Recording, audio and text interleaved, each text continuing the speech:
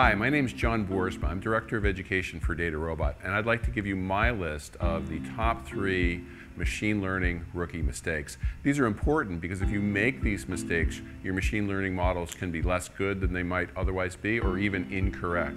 The first mistake, not understanding your data. Here's some churn data when customers are leaving an organization. You can see here we have how many years a customer has been with us, what their credit rating is, their industry, and then whether they left in the last year. There's some issues with this data. First of all, we have a missing element. We might want to understand why it's missing and find what it should be replaced with. You can also see inconsistent coding. This says services, but here's SVC. That means services as well. We would want to make those consistent.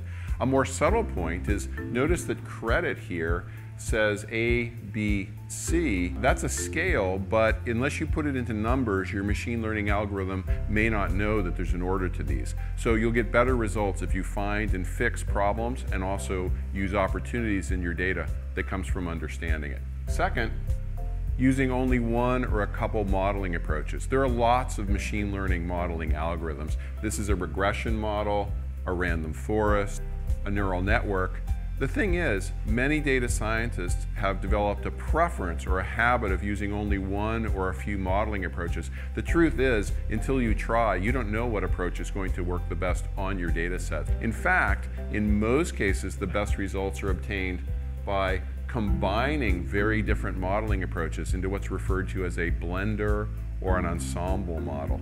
And then finally, the third mistake is not thinking about implementation early. We don't want to just build machine learning models. We want to positively, measurably improve operational results using machine learning. That means you need to think about, are there automated processes that will need to change? So there'll be IT work needed to be done, or are there human processes that need to change? That might mean training or even changing policies.